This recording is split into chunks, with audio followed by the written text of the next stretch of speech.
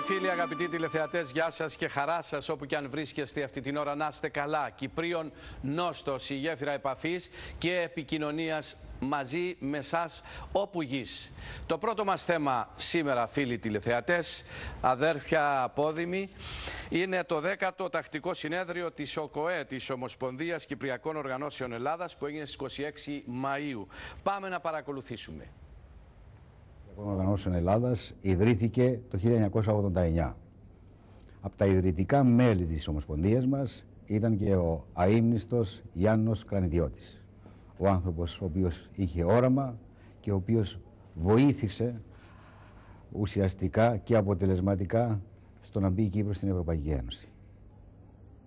Η Ομοσπονδία Κυπριακών Οργανώσεων Ελλάδας αποτελείται από 44 σωματεία διεσπαρμένα σε ολόκληρη την ελληνική επικράτεια από Αλεξανδρούπολη μέχρι Κρήτη και από ε, Κέρκυρα μέχρι Μυτιλίνη.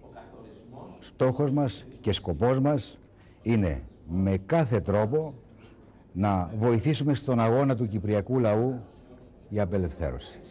Για την επικράτηση στην Κύπρο του δικαίου. Για την απομάκρυση του στρατού κατοχής και των επίκων Στόχος μας, παράλληλα, είναι να επικρατήσει σε ένα ενωμένο νησί μια μόνιμη, μια αδιατάρακτη ειρήνη. Μια ειρήνη που να αγκαλιάζει όμως όλους τους κατοίκους, τους νόμιμους της Κύπρου. Στην Ελλάδα εκλέγεται ένας αρκετά μεγάλος αριθμός Κυπρίων που ζουν και εργάζονται σε διάφορες πόλεις, σε διάφορες περιοχές στην Ελλάδα. Ζουν από χρόνια και έχουν καταξιωθεί εκλέχτηκαν σε, στις τοπικές αυτοδιοικήσεις ο, πολλών περιοχών της Ελλάδας, νομαρχίες, δήμους. Ε, και για πρώτη φορά φέτος, και θέλω να το τονίσω αυτό, ε, κάνουμε μια προσπάθεια και θα μαζευτούν οι εκλεγμένοι της ε, τοπικής αυτοδιοίκησης Κύπροι από όλη την Ελλάδα, όπου θα έχουμε μια συνεργασία μαζί τους σε μια προσπάθεια να προωθήσουμε το πρόβλημα της Κύπρου, το θέμα της Κύπρου, αλλά και τον πολιτισμό της Κύπρου. Σε ό,τι αφορά το δεύτερο που σχετίζονται με το, τα προβλήματα των Κυπρίων που παρατηρούνται στην Ελλάδα, κάνουμε ιδιαίτερες προσπάθειες, πάντα σε στενή συνεργασία με την Κυπριακή Κυβέρνηση, την πρεσβεία μας στην Ελλάδα, το προξενείο μας της Θεσσαλονίκης, έτσι ώστε να βρίσκεται πάντα μια σωστή λύση, μια λύση που να ικανοποιεί τα αιτήματα των Κυπρίων της Ελλάδας. Η, ένα από τα προβλήματα που μας ταλανίζουν, θα μπορούσα να πω, είναι και το πρόβλημα του ασφαλιστικού. Η γενιά μας έχει περάσει αρκετά μέχρι τώρα, φτάνει στη σύνταξη. Πλησιάζει στη σύνταξη. Επομένως, το θέμα αυτό το βλέπουμε με ιδιαίτερη σοβαρότητα και προσοχή. Γι' αυτό και για αρκετή, για πολλωστή φορά μάλλον, έχουμε καλέσει ε, από το Υπουργείο Κοινωνικών Ασφαλίσεων της Κύπρου και από το Υπουργείο Οικονομικών της Κύπρου ειδικούς οι οποίοι μας ενημερώνουν. Η ενημέρωση αυτή δεν γίνεται μόνο στα πλαίσια του συνεδρίου μας, αλλά γίνεται και πάνω σε μια βάση ενημέρωσης σε διάφορες περιοχές της Ελλάδας. Ε, είναι ξεκάθαρο επίσης ότι τα προβλήματα που αφορούν το, στο ασφαλιστικό δεν είναι τα ίδια για όλους. Υπάρχουν διαφοροποιήσεις. Είναι ένα αρκετά περίπλοκο, πολύπλοκο θέμα το οποίο προσπαθούμε να επιλύσουμε. Ο πολιτισμός φέρνει τους ανθρώπους πιο κοντά. Εμείς Κύπροι, Έλληνες της Κύπρου, ζούμε στην Ελλάδα. Εν πολλής έχουμε ίδια σχεδόν ήθη και έθιμα. Όμως έχουμε και τις ιδιαιτερότητές μας. Αυτό θέλουμε να αναπτύξουμε. Τις ιδιαιτερότητες τις πολιτισμικές. Και με την ανάπτυξη των ιδιαιτεροτήτων των πολιτισμικών πιστεύω ότι συνεχίζουμε την παράδοση, συνεχίζουμε την ιστορία μας, κάνουμε γνωστό στους Ελλαδίτες τον πολιτισμό και την κουλτούρα, την ιδιαίτερη της Κύπρου και φέρνουμε, επαναλαμβάνω, τους ανθρώπους πιο κοντά. Οργανώνουμε ήδη από πολλά χρόνια εκδηλώσεις πολιτιστικού χαρακτήρα. Παραδείγματος χάρη συναυλίες. Με κυπριακό περιεχόμενο, από Κύπριους καλλιτέχνες, με Κύπριους συνθέτες. Δεν θα μπορούσα να μην αναφέρω το όνομα του Μάριου Τόκα, ο οποίος πάντα είναι μπροστά σε αυτά. Και πάντα έχει μια ιδιαίτερη ευαισθησία στο να μας βοηθά πραγματικά στην δουλειά που κάνουμε.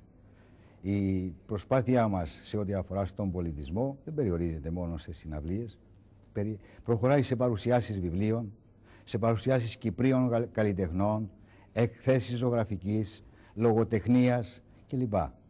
Η προσπάθειά μας και η ουσία είναι να προχωρήσουμε, να συνεχίσουμε και να περάσουμε την αντίληψη των Ελλαδίτης συμπατριώτης μας ότι είμαστε μεν Έλληνες, Έλληνες της Κύπρου, αλλά με τις ιδιαιτερότητές μας. Μέσα στα πλαίσια του διήμερου συνεδρίου μας έχουμε και μια πολιτιστική εκδήλωση που είναι η παρουσίαση ενός συντή που λέγεται «Στην άκρη του ουρανού» και είναι αφιερωμένη στα 50 χρόνια της θυσίας αυτού του ηρωικού πραγματικά πεδίου, του νέου ανθρώπου, του Ευαγόρα Παλικαρίδη, ο οποίος έδωσε τη ζωή του για την ελευθερία και τη δημοκρατία της Κύπρου, ο οποίος απαγχωνίστηκε από τους Βρετανούς κατακτητές. Επίσης, στον ίδιο χώρο που θα πραγματοποιηθεί η συναυλία, στην Κυπριακή Εστία, στην Πλάκα, ε, θα γίνουν τα αποκαλυπτήρια ενός μνημείου που νιώθουμε ότι είχαμε την υποχρέωση να ολοκληρώσουμε και να αποκαλύψουμε ενός μνημείου που είναι αφιερωμένο στα παιδιά που απαγχωνίστηκαν από τους Βρετανούς απεικιοκράτες κατά τη διάρκεια του απελευθερωτικού αγώνα της ΕΟΚΑ.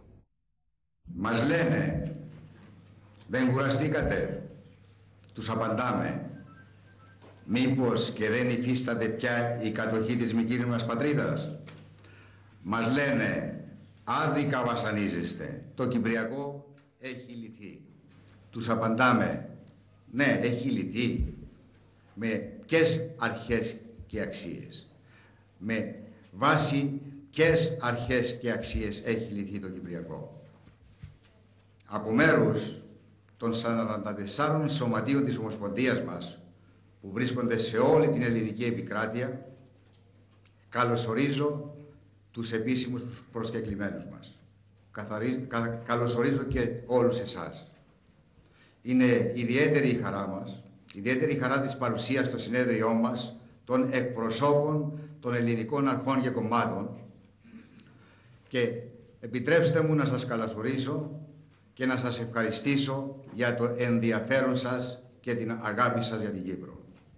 Εμείς, εμείς οι Κύπροι που ζούμε στη Μητρόπολη του Ελληνισμού, μέσα από ένα τρίπτυχο, το αγωνίζομαι, αντιστέκουμε, διεκδικώ, στέλνουμε το μήνυμά μας.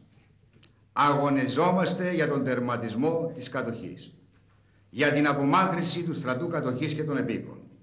Αντιστεκόμαστε στις πιέσεις της Τουρκίας και των όποιων ισχυρών στις πιέσεις τους να γονατίσουμε και να αποδεχθούμε την επιβολή μιας λύσης έτεροβαρούς, άδικης, μη λειτουργικής. Μια λύσης πραγματικά παράξενης. Διεκδικούμε την επανένωση της μικρής μας πατρίδας. Την επικράτηση επιτέλους στο πολύπαθο νησί μας μιας μόνιμης, μιας αδιατάρακτης ειρήνης που να αγκαλιάζει όλους τους νόμιμους κατοίκους του. Δεν εφησυχάζουμε. Έχουμε το δικαίωμα αλλά και την υποχρέωση. Έχουμε το δικαίωμα και την υποχρέωση να λέμε δυνατά, καθαρά και ξάστερα. Στην Κύπρο η κατοχή συνεχίζεται. Ο αγώνας συνεχίζεται. Σας ευχαριστώ.